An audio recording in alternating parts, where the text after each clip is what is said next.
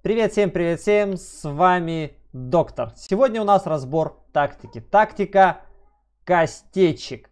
Что же индивидуального в этой тактике? Это тактика игры убийства одного удара. Я понимаю, что это историческая, это давно сложившаяся тактика, но, к сожалению, с введением Фрэнки она перестало иметь место быть. Потом ввели еще клетку, ввели хищника и, соответственно, костечики ушли в небытие. Но, однако, все равно их представители остались на 17-20 уровнях, где кастеты с 10% крита еще имеют свою силу и выводят все-таки красивые бои.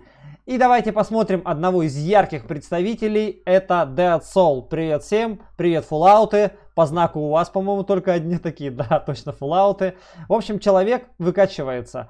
Делается как? Делается упор на силу. То есть делается, делается сила больше, чем живка, соответственно, все ставится на нее. Берется обязательно кастеты. Кастеты берутся легендарки, 20 25 соответственно, уровни. Меньше брать не имеет смысла.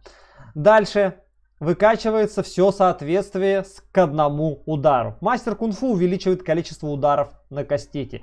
Слепая ярость дает большое количество ударов именно на криты. И, соответственно, сам апперкот выкачивается в максимум.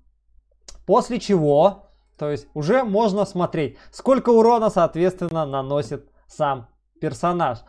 Ну, Dead Souls, что я могу сказать? Дальше видео будут только бои, заделанные специально для тебя.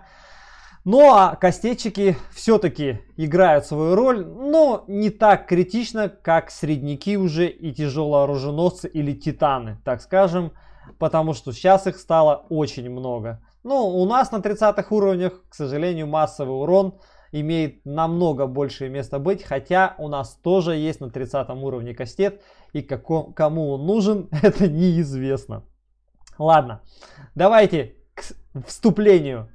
Mortal Kombat в исполнении Dead Solo. Смотрим.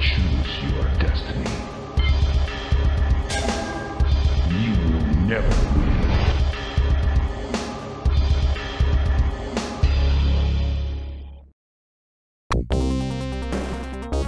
one. Fight!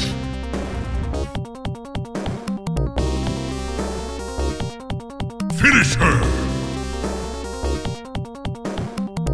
Flawless victory.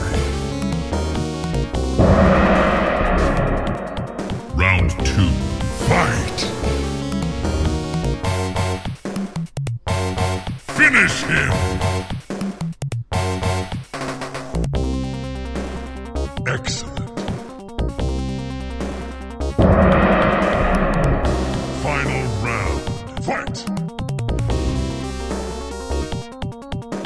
Finish her!